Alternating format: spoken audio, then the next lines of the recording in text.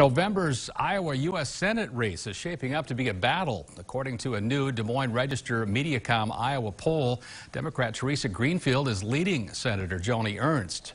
Ernst is looking for a second term. The senator winning election for the first time in 2015. Ernst was not challenged in a June Republican primary, but according to the poll, 46% of likely voters would vote for Greenfield if the election were held today, while 43 said they'd vote for Ernst.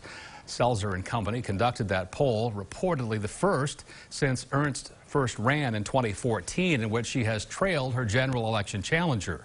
The difference, however, in that poll falls within the margin of error.